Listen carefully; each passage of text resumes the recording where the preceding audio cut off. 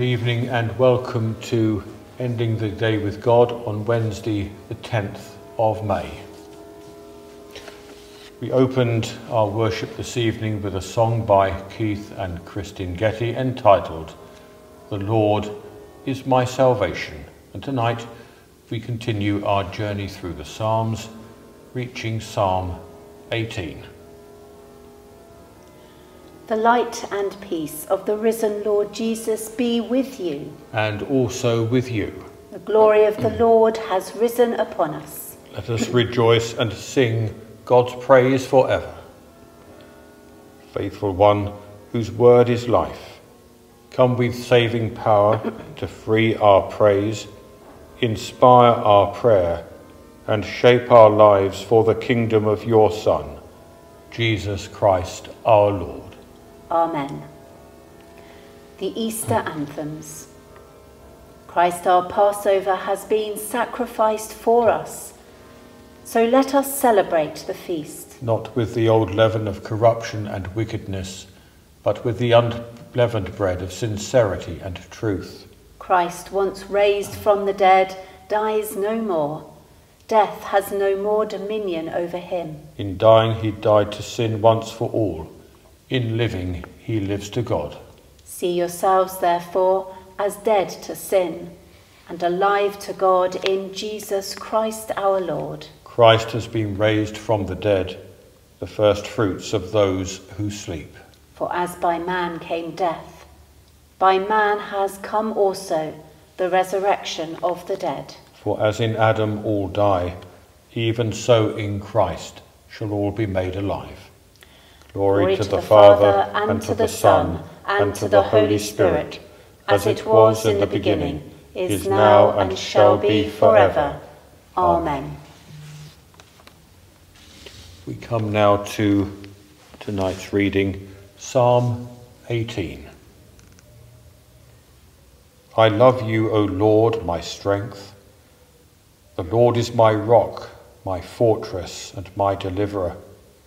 My God, my rock, in whom I take refuge, my shield and the horn of my salvation, my stronghold. I call upon the Lord who is worthy to be praised. So I shall be saved from my enemies. The Lord lives.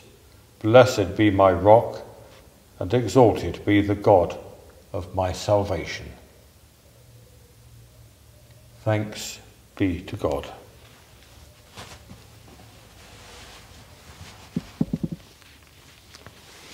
Now come to our reflection on this theme, the Song of Triumph. Hold on for a roller coaster charge through King David's battles.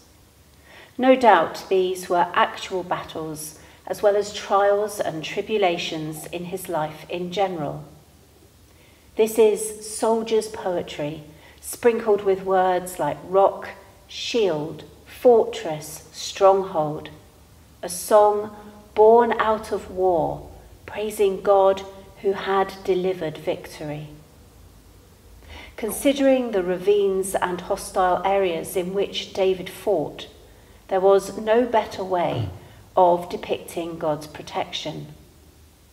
Using powerful imagery, snares of death, torrents of perdition, quaking mountains, hailstones, and coals of fire, this man had lived through trauma. We sense his relief that, against all odds, God, his rock, has delivered him. Unlike the gods of surrounding nations, the God of Israel is a living presence.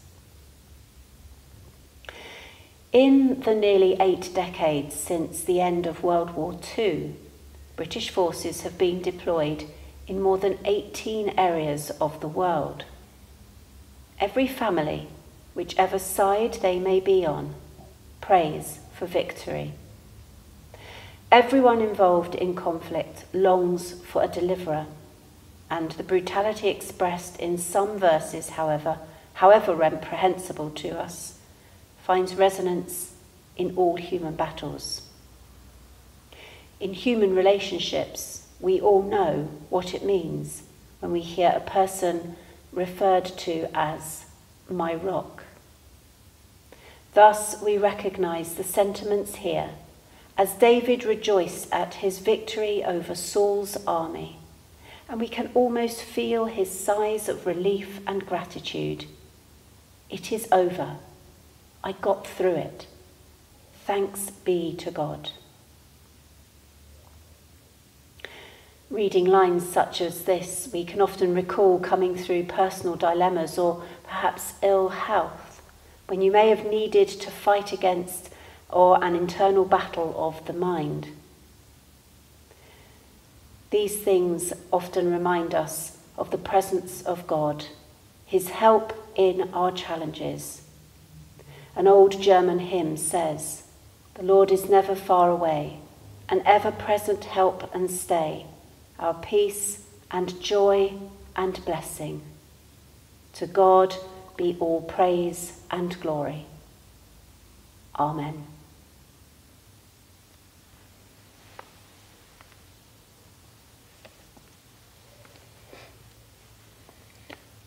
Blessed are you, Lord our God, King of the universe. To you be glory and praise forever. From the rising of the sun to its setting, your name is proclaimed in all the world. To you be glory and praise forever. When the time had fully come, you sent the Son of Righteousness. In him the fullness of your glory dwells. To you be glory and praise forever.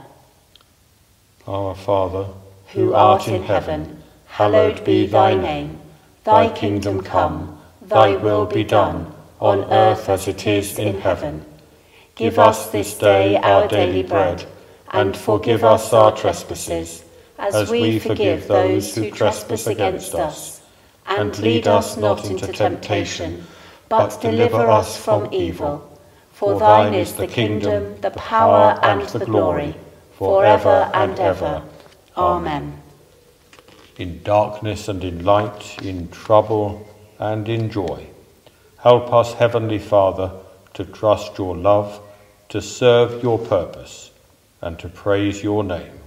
Through Jesus Christ our Lord. Amen. Jesus Christ is the light of the world. A light no darkness can quench, Stay with us, Lord, for it is evening. and the day is almost over. The darkness is not dark to you. The night is as bright as the day. Let your light scatter the darkness and fill your church with your glory. Amen.